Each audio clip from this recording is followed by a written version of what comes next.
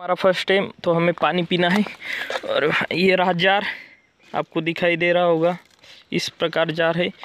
और ये रही रस्सी कुछ इसकी तो हम फैला के ले जाते हैं। उस कुएँ के पास ले जाना है हमें। मुझे लगता है इससे और भी कुछ अटैचड है।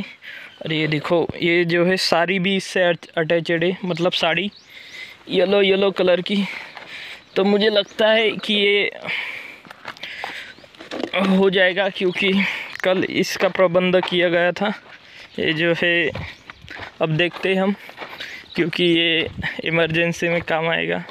तो यहाँ से डालते हम यहाँ से, ये देखो। तो ये रहा नीचे छोड़, छोड़ते हुए, ये देखो, कुएँ का पानी। का ये देखो, अपना जार कहाँ तक पहुँचा है? ये देखो two X zoom four X zoom अभी बहुत ही ये देखो दिखाई दे रहा है आपको। बहुत बाकी कम से कम दस बीस फुट दस फुट बाकी है। तो ये अब सारी सारी नीचे जा रही है हमारी और हम निकालेंगे पानी।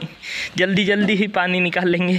और ये आ, मुझे लगता है पहुँच गया है लेकिन ये सारी की वजह से दिख नहीं रहा। ये देखो जार हमारा आ, पानी में डीप हो चुका है मतलब डूब गया है। और अभी हम पियेंगे इस कुएँ का पानी।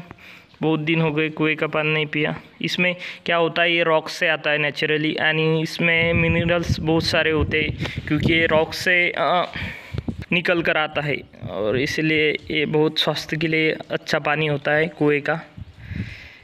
तो पूरी तरीके से डीप हो चुका है और हम इसको अभी एक बार उछाल लेते हैं। ये देखो उछालना चालू है। एक दो तो हम निकाल लेते हैं अभी। ये देखो ऑलमोस्ट हम निकाल ही लेते हैं। ये देखो सारी और एक हाथ से व्लॉग बनाना और एक हाथ से ये निकालना चालू है सारी की मदद से। तो हम यहाँ से क्या करते हैं? यहाँ से ये ऐसा खींच लेते हैं क्योंकि वन हैंडेड ओ! तो ऑलमोस्ट हमारे हाथ में आने वाला है जार।